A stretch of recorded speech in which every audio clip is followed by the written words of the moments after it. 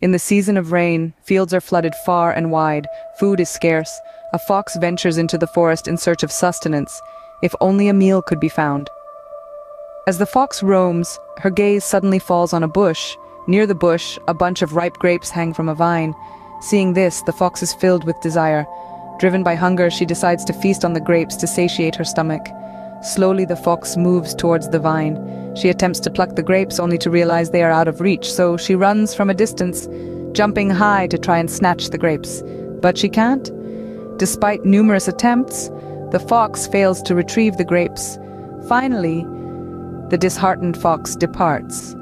As she leaves, she glances back at the grapevine and remarks, The grapes of this tree are very sour. I couldn't even eat those grapes.